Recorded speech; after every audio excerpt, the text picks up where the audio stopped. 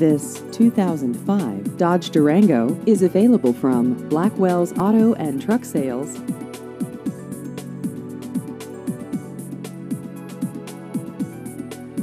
This vehicle has just over 113,000 miles.